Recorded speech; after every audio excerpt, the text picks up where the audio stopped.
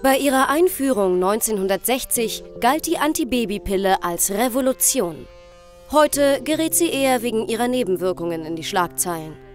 Auf der Suche nach Alternativen zur Pille rückt Computertechnologie immer mehr in den Fokus. Unternehmen wie das Start-up Clue aus Berlin versprechen mehr Kontrolle über den Zyklus ohne Eingriffe in den Hormonhaushalt. Mit dem Smartphone als Verhütungsmittel der Zukunft ist Gründerin Ida Tin überzeugt.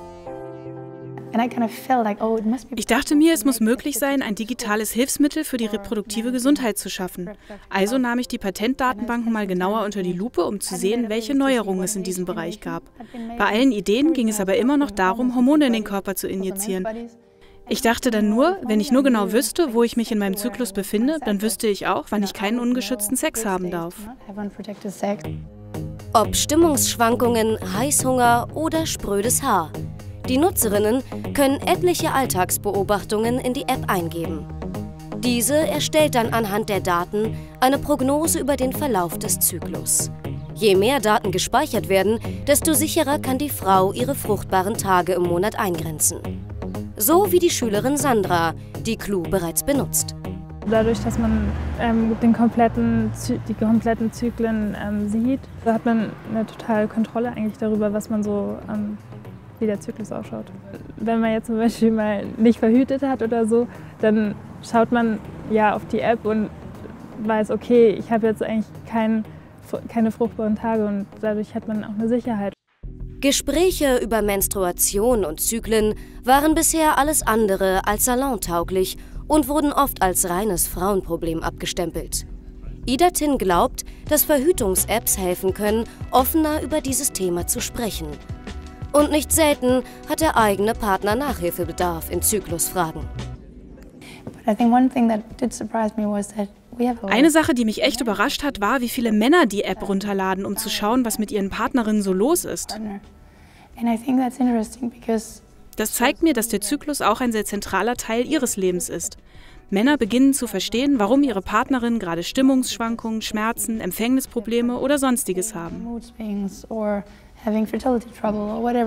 Doch bei aller Euphorie hat die Sache auch einen Haken. Die Daten, die durch Apps wie Clue gesammelt werden, basieren komplett auf dem subjektiven Empfinden der Nutzerinnen. Wirkliche Sicherheit kann so nicht gewährleistet werden.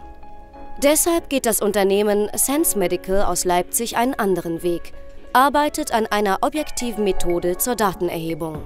Das Ergebnis? Der Ovula-Ring, ein Biosensor, den die Nutzerinnen 24 Stunden am Tag vaginal tragen. Bis zu 285 Mal am Tag misst er dort die Temperatur der Frau.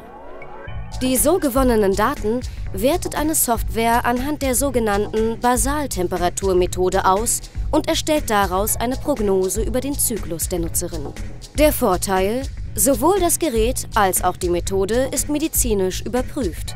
Eine Interpretation der Daten durch die Nutzerin ist nicht nötig.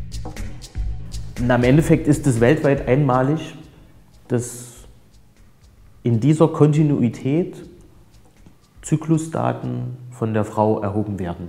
Aber da gibt es natürlich im Detail auch ganz spannende Forschungsansätze, dass man da möglicherweise auch noch andere Komplikationen und noch andere Krankheiten mit dieser Körperkerntemperaturmessung äh, effektiver und individueller diagnostizieren kann.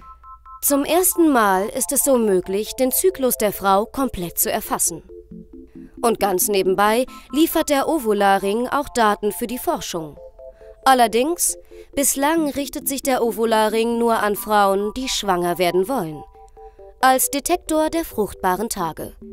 Als Verhütungsmittel ist der Biosensor nicht konzipiert.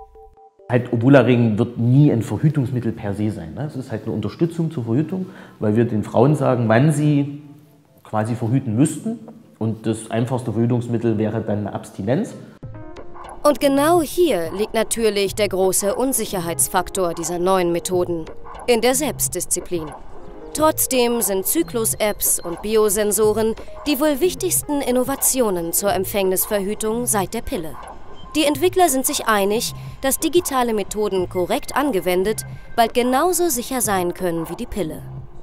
Eines werden die Apps allerdings auch in Zukunft nicht können. Durch Barrieren auch an den fruchtbaren Tagen vor Schwangerschaft schützen.